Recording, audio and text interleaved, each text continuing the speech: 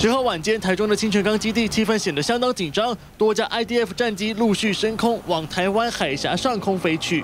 大陆航母辽宁号在动武二 C 型导弹驱逐舰郑州号、海口号以及动武二 D 型导弹驱逐舰长沙号等舰艇的护卫下，在十号晚间九点左右，以无害通过的方式进入台湾海峡，沿着海峡中线以西的航道往北行驶。空军出动了 E-2T 空中预警机以及 P-3C 反潜机，也随即升空全面监控。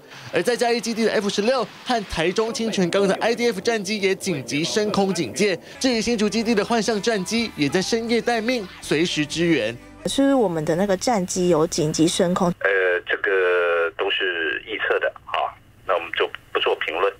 国防部这次会有这么大的阵仗，就是因为路过台湾海峡的辽宁舰，并非二零一三年那时候的阳春舰。现在航舰上载有十多架的歼十五战机和多架舰载直升机。虽然目前歼十五还没办法在夜间进行起降作业，不过为了避免擦枪走火，国防部长冯世宽还是坐镇横山指挥所，全程监控相关的状况，我会全程监控。辽宁舰选择在蔡总统出访时，舰队经台湾海峡北返。十一号早上七点，已经进到台湾西南防空识别区，正沿着台湾海峡中线朝西北航行。而国军也会持续海空全面监控，直到辽宁舰北返远离。记者台中综合报道。